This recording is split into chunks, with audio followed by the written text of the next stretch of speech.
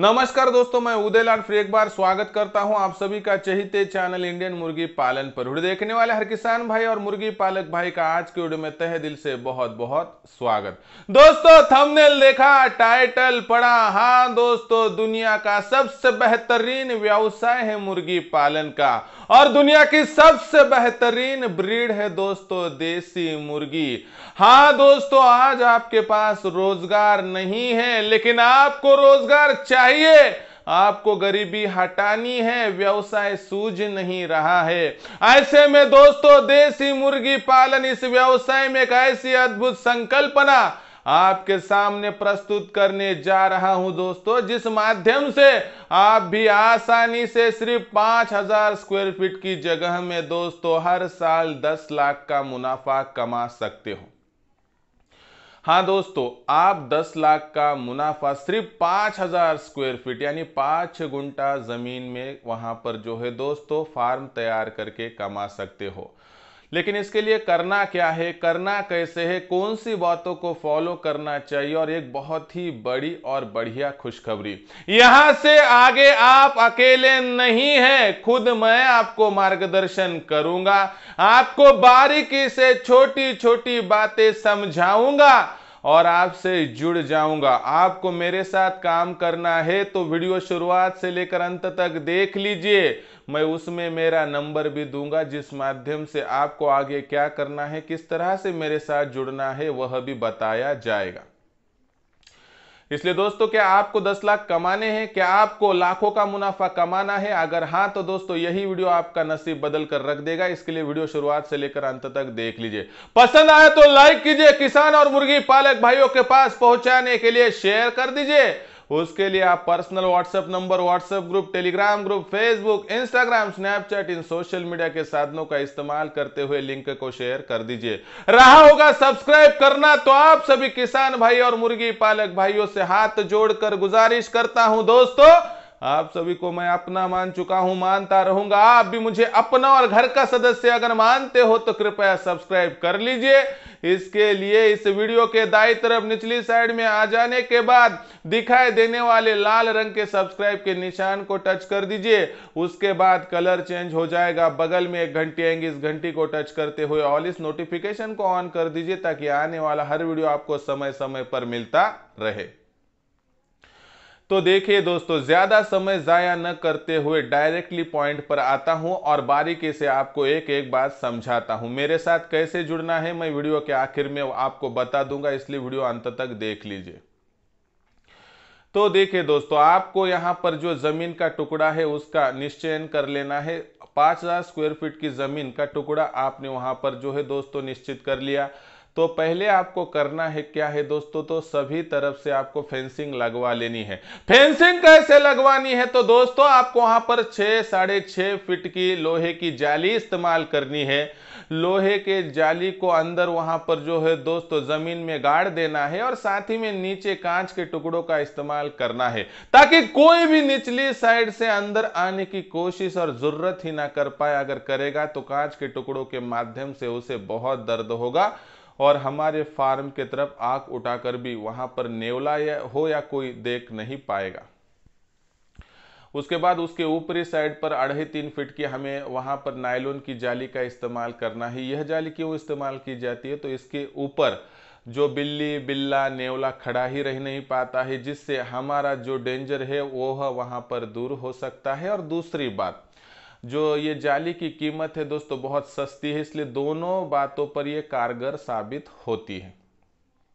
अभी इतना तो आपने कर लिया दोस्तों, जाली वगैरह बना ली। अभी बात आती है शेड की। तो शेड की रचना कैसे करनी है? मैंने पिछले वीडियोस में बताया तो भी एक बार शॉर्ट में बताता हूँ। आपको वहाँ पर क्या करना है? पाँच हज़ार स्क्वायर फीट में से 20 प्रतिशत जगह, यानी एक हज़ार स्क्वायर फीट ज़मीन, यानी एक गुंठा ज़मीन के टुकड़े पर आपको पैक शेड बनाना है, जहाँ पर हमारी मुर्गियाँ रात को विश्राम कर पाए।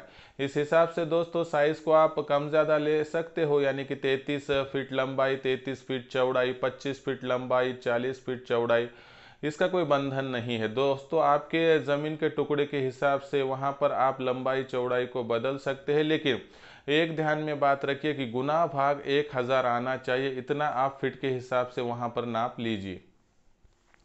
तो इतना कर दिया दोस्तों तो शेड कैसे बनाना है? नीचे से पीसीसी कर दीजिए, नीचे कांच के टुकड़े डाल दीजिए ताकि नेवला अंदर ना आ पाए। उसके बाद आपको साइड से जो है दोस्तों, जाली का इस्तेमाल करना है और ऊपरी साइड के सीमेंट या टीन के पत्रों का भी इस्तेमाल आपको करना होगा।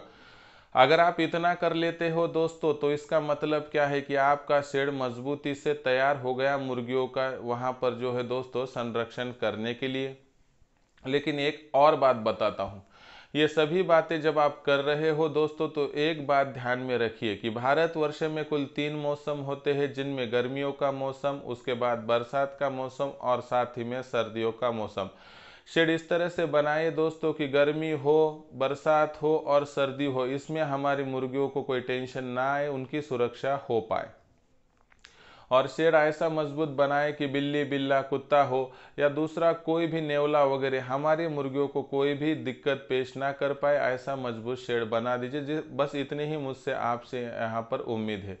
ऐसा शेड बनाने के बाद जो जगह बचती है, उसमें तकरीबन आठ बाय पाँच के हिसाब से सहजल के पौधे या अमरूद के पौधे लगा दो। इस माध्यम से आपको आमदनी होगी, मुर्गियों को फ़ीड मिलेगा, मुर्गियों को छाया मिलेगी, मुर्गियों को मेडिसिन मिलेगा, जिस माध्यम से आपका फार्म बहुत ही गति से तरक्की कर पाएगा। अभी बात आती है कि आठ बाय पाँच के हिसाब से कितने पौधे बैठेंगे तो तकरीबन दोस्तों यहाँ पर सौ पौधे बैठ जाएँगे। उसके बाद दोस्तों अंदर ही रचना की बात करें तो 33 बाय 33 की अमूमन आपने चौड़ाई और लंबाई ली, ऐसा मैंने पकड़ा है तो साधारण तौर पर यहाँ पर कितनी मुर्गियाँ बैठेंगी? मुर्गियों की अगर बात करते हैं तो तीन फीट की चौड़ाई और सात फीट की ऊंचाई छोड़ दे तो तकरीबन सभी तरफ़ से आप दो फीट, चार फीट, चार छः फीट, आठ फीट पर आड़े पाइप लगा दीजिए। एक पाइप की लंबाई 33 फीट होगी तो वहाँ पर 50 मुर्गियाँ बैठेंगी एक साइड से चार पाइप, यानी 200 मुर्गियाँ एक साइड पर, चार साइड की 200 गुणा चार, यानी 800 मुर्गियाँ वहाँ पर बैठ जाएगी। उसके बाद सामने वाली साइड जो थी, वहाँ पर जो है आपको दरवाज़ा रखने के कारणवश वहाँ पर एक 20-25 मुर्गियाँ कम बैठेंगी। उसके बाद सिर के ऊपर की अगर बात करें तो तकरीबन वहाँ पर हर दो फीट पर एक पाइप डाल दोगे तो 33 फीट के 14 पाइप बैठते हैं। उस हिसाब से 14 गुना पचास यानी 700 यानी कि तकरीबन वो 800 और ये 700 यानी 1500 मुर्गियाँ तो वहाँ पर जो है दोस्तों पाइप पर ही बैठ जाएँगी। उसके बाद निचली साइड को आराम से वहाँ पर हज़ार स्क्वायर फीट की जगह में हज़ार मुर्गियाँ बैठने के लिए दिक्कत नहीं, यानी 2500 की स्ट्रेंथ हो जाएँगी। आप आपके हिसाब से 2000 2200 भी डाल सकते हैं।